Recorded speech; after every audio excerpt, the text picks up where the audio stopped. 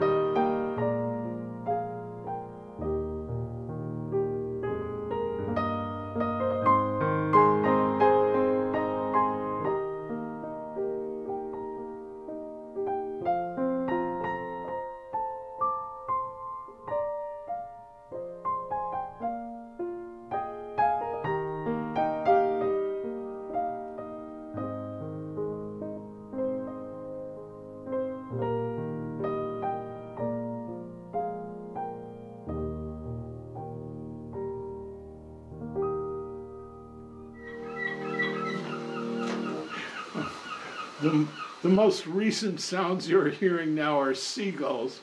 We can't really monitor or control their behavior